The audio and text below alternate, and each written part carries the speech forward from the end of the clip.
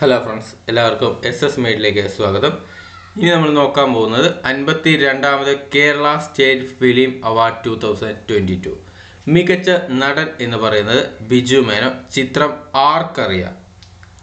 ആരാണ് മികച്ച നടൻ? ബിജു മേനോ ചിത്രം ആർക്കറിയ. അടുത്ത വ്യക്തിയാണ് ജോജു ജോർജ്. ജോജു ജോർജിന്റെ ചിത്രങ്ങളാണ് മധുരം ഫ്രീഡം ഫൈറ്റ് നായാട്ട് തുറമുഖം തുടങ്ങിയവയാണ് മികച്ച നടനുള്ള അവാർഡ് ജോജു ജോർജിന് നേടിക്കൊടുത്തത്. അപ്പോൾ രണ്ട് നടന്മാർക്കാണ് മികച്ച നടനുള്ളത്.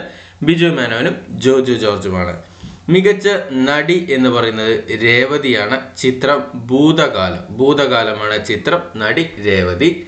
സംവിധായകൻ ദിലീഷ് പോത്തനാണ് ചിത്രം. ജോജിയാണ് മികച്ച ചിത്രം എന്ന് പറയുന്നത് ആവാസ വ്യൂഹം ആവാസ വ്യൂഹമാണ് സംവിധാനം എന്ന് പറയുന്ന കിഷാന്ത് ആർ കെ ആണ്. കിഷാന്ത് ആർ കെ ആണ് ആവാസ വ്യൂഹത്തിന്റെ അതായത് മികച്ച ചിത്രമായ ആവാസ വ്യൂഹത്തിന്റെ സംവിധാനം. മികച്ച രണ്ടാമത്തെ ചിത്രമാണ് നിഷിതോ അതേപോലെ ചവിട്ട് എന്നുള്ള രണ്ടെണ്ണമാണ് മികച്ച രണ്ടാമത്തെ ചിത്രം. ജനപ്രിയ ചിത്രം എന്ന് പറയുന്നത് ഹൃദയമാണ്. വിനീത് ശ്രീനിവാസന്റെ ഹൃദയമാണ് ജനപ്രിയ ചിത്രം എന്ന് പറയുന്നത്. മികച്ച സ്വഭാവ നടൻ സുമേഷ് മൂർ. ചിത്രം കളയാണ്. സുമേഷ് മൂറാണ് മികച്ച നടൻ മികച്ച സ്വഭാവ നടൻ മികച്ച സ്വഭാവ നടനാണ്. മികച്ച സ്വഭാവ നടി ഉണ്ണിമായ പ്രസാദ്. ചിത്രം ജോജിയാണ്.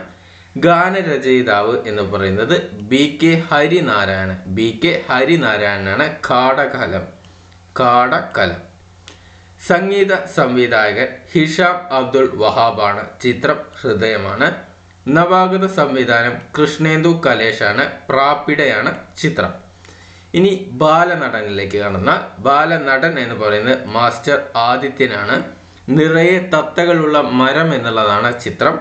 ബാലനടി എന്ന് പറയുന്നത് സ്നേഹ അനുവാണ് ചിത്രം തലയാണ്. മികച്ച ഗായകൻ ആരാണെന്ന് ചോദിച്ചാൽ പ്രദീപ് കുമാറാണ്. മികച്ച ഗായിക എന്ന് പറയുന്നത് സിത്താരയാണ്.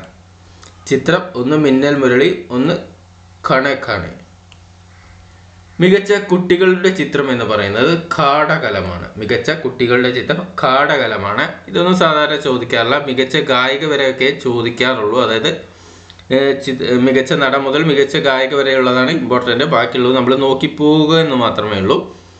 മികച്ച തിരക്കഥാകൃത്ത് എന്ന് പറയുന്നത് കൃഷാന്ത് ആർ കെ ആണ്. ആവാസ വ്യൂഹമാണ് മികച്ച സിനിമാറ്റോഗ്രാഫർ എന്ന് പറയുന്നത് മധു നീലകണ്ഠനാണ്.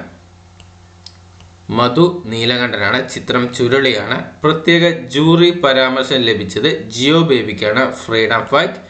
പ്രത്യേക ജൂറി അവാർഡ് ലഭിച്ച അടുത്ത വ്യക്തിയാണ് ഷെറി ഗോവിന്ദൻ.